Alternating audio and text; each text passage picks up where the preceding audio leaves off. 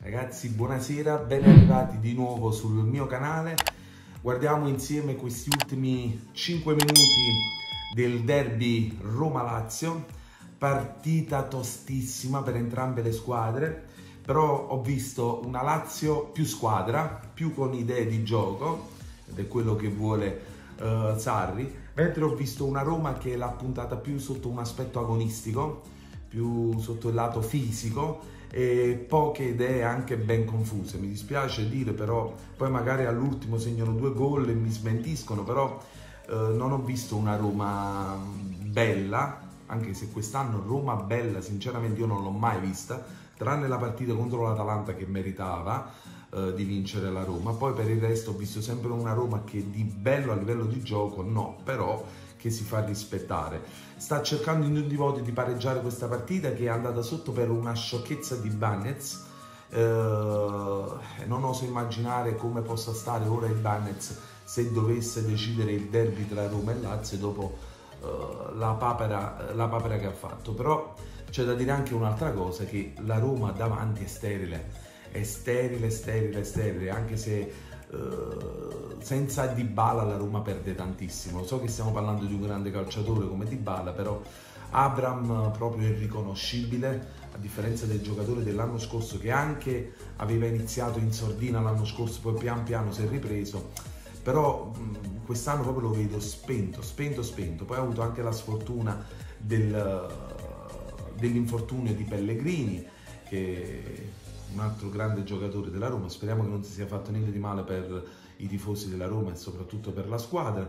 Ora, ultimo assalto, attenzione, la Roma, ecco, eh, come dicevo, eh, poche idee anche molto confuse, ecco, palle laterali, buttare in mezzo, ma difficilmente riescono ad arrivare anche sui laterali e mettere palle in mezzo, ora che ci sta sia Belotti che Abram a centro, poca roba.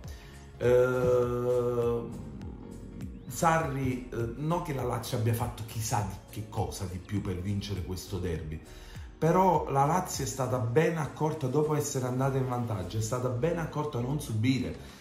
E grosse parate da parte di Provedel, tranne la traversa presa da Zaniolo su una deviazione, non ho viste, quindi eh, attenzione proprio no niente non riesce. La Roma è lo ripeto è sterile sterile sterile in avanti non riesce ad essere concreta.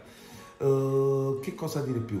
Questo ragazzo, uh, Volpato, secondo me Volpato bravo, forte. L'unica cosa deve essere un po' meno presuntuoso perché a 19 anni, dopo un'azione che tra parentesi hai pure torto, rivolgerti così all'arbitro no, a 19 anni non puoi, neanche a 30 e a 40, ma soprattutto a 19 anni non puoi devi mangiarne di erba eh, di campi di calcio prima di poterti eh, parlare con un arbitro come Orsato che attualmente si dice che sia il migliore in Italia. Quindi eh, con calma, eh? molta calma. E niente, questo è, ora c'è l'assalto finale da parte della Roma vediamo che cosa succede. E quindi la Lazio in questo momento sale in classifica e scavalca proprio la Roma. La Lazio mi ricorda un po' come il primo Napoli di, di Sarri, uh, cioè che può vincere contro tutti ma nello stesso modo può perdere contro tutti, fa delle prestazioni incredibili con prestazioni molto mediocre, è una squadra che ha bisogno del suo assetto, eh, però è una gran bella squadra da tenere sotto d'occhio, non penso tanto per la lotta al titolo, ma, so, ma per la lotta alla Champions League sì. E qua mi sa che si arriverà oltre il centesimo perché si è perso un po' di tempo.